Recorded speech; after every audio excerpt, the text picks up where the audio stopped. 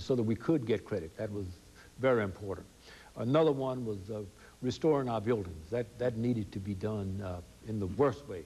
And the other one was to sell the virtues of the institution to the, war, the wider community uh, of the nation so that we could get the funds necessary and at the same time talk to our local vendors mm -hmm. and ask them to give us time to pay them so that we would get this whole thing together.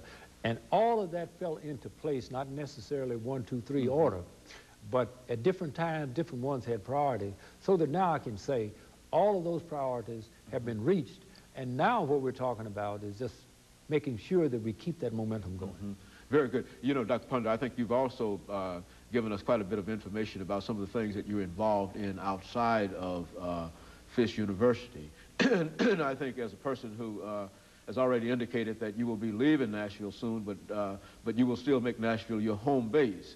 Uh, you are certainly still concerned about what goes on in Nashville.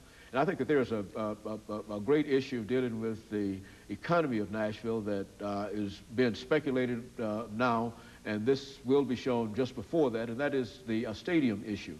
And let's have you this morning to, uh, from a point of view of an economist, from the point of view of a person who has been involved with a large number of people dealing with financing and whatnot in the uh, uh, state of Tennessee. How do you see the issue of the stadium?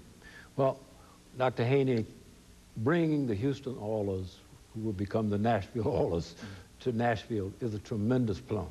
Uh, we ought to do all that we can to help the mayor and the legislature bring that about.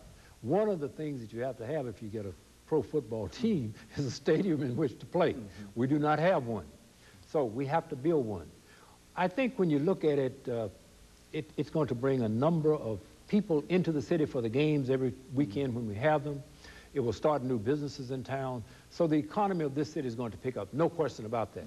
Now, as I see it, persons who may be against this move are looking at it from the standpoint of the money that we put into a stadium, mm -hmm. we could put that $140 million into higher education or some other project that, that really needs that. And let me say, Education needs a lot of money in this city and this state. I would agree with that. But I think what we're forgetting is this is not a, an either or. If we don't take the Oilers, we'll put that money into higher education. If we do take the Oilers, we're not going to put it into higher education. That's not the case. If we miss the Oilers, we'll also miss a chance mm -hmm. to improve higher, higher education and all of education in this country because of a tax base and all of those mm -hmm. things coming in. Uh, and the tax base is not necessarily on the stadium. The tax base is on all the people who spend overnight in this city, mm -hmm. paying taxes, their, their hotels, their motels, mm -hmm. uh, their restaurants, purchasing from the neighbors, from the stores and all of that. All of this is taxed. When that tax goes in, it's outside of what the normal mm -hmm. people would do. Therefore, we get more income. So what I would say here is that we ought to support the mayor and all the persons for this.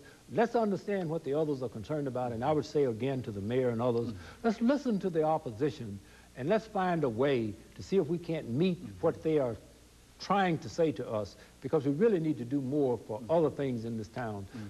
except pro athletics. Mm-hmm. And I'm not against it, but we must do some other things also. Mm-hmm.